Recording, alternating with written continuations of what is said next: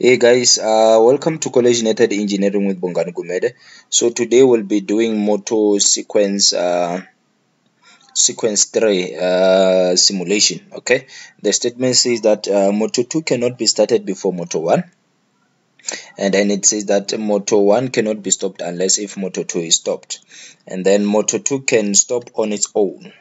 Okay, so let me go online so the statement says that before you can start your Moto 2, you must start your Moto 1 first. And when both motors are running, you cannot stop your Moto 1 unless you stop your Moto 2 first. So Moto 2, stopping Moto 2 will enable Moto 1 to be able to be stopped. Not that it must stop automatically.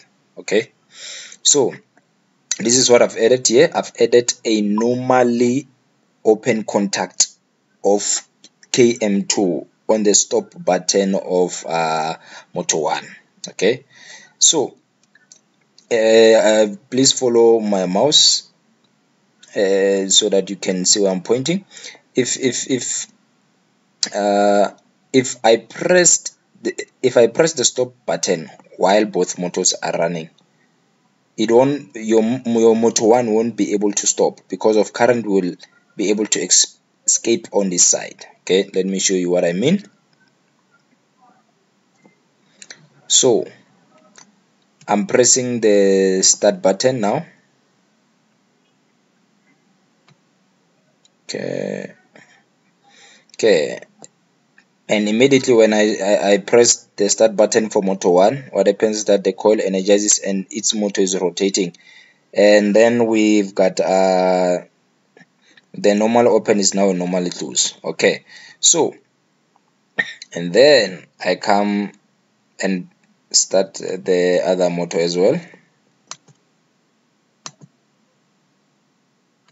Okay. Yes. So immediately when I start motor 2 or or, or uh, km2 what happens is that the normally open now becomes a normally close on the stop button remember we're introducing a normally open on the stop button. And the normal open is for km2 in such a way that as these motors are running if you come and press the stop button okay let me press the stop button. You see what happens? It opens but your motor one doesn't stop rotating see i'm pressing but nothing is happening. Okay? Nothing is happening. Why? Because of when okay let me try it again to show you again. You see? So we, it does we do have an open link here whenever we press the stop button. But now current is escaping on the normally open that is now a normally closed which is your 15 and your 16 so current goes all the way. But check something. If I press the stop button and stop your motor 2 what happened is that the coil of motor 2 de-energizes. And then that normally um op uh, normally closed it has now gone to its original position to being a normal open. So now when I come and press the stop button and say uh, no no yes when I press the stop button is that your motor 1 will be able to stop. So that's what we mean.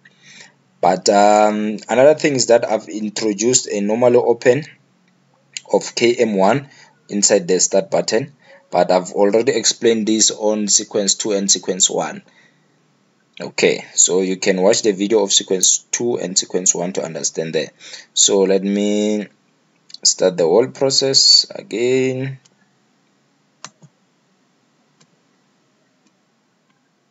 Okay just one moment. Motor 1 has started and then we start motor 2 so according to the statement you must not be able to stop your motor 1 until uh, motor 2 stops. So that's what we're achieving we're trying to stop but nothing is happening but when we stop motor 2 now we can be able to stop our motor 1 okay? So that's it. But now remember the first statement it says that you must not be able to to start uh, moto 2 before motor 1 so if I come and press the start button nothing is happening. But uh, there's uh, there's another part that uh, I have to mention here. Let me press the start button. Okay moto 1 is running. And moto 2 also is running. Remember the the last part of of the statement on this sequence 3 it says that moto 2 can stop on its own. So meaning that you can stop moto 2 on its own. So let's let's try to do that uh, okay. I've just stopped moto 2 and it has stopped. But your moto 1 is still continuing to run. So that's what uh, we we achieved. But now as uh, we achieved that by adding this normally open of km1 but remember i said that i explained that in the previous video. So you can watch the previous video to be able to understand uh, what i mean there okay? So the always on your sequences it will say your emergency stop must stop everything. So if i press the emergency stop now everything has stopped okay? And then we we can check uh, also with your uh, no 95 and 96 uh, this is in case of uh, of overload. Okay I'm trying to stop it uh, okay it seems like I still have to program this one. But yeah so if if if you understand the normal open and the normal close then you are ready to go. So I think I just have to okay it does stop when I'm when I'm doing the imaging stop but yeah it seems like it has to have overcarried or something. But I will program that on the next video hopefully. So thank you for watching and let's meet on the next video. Sharp sharp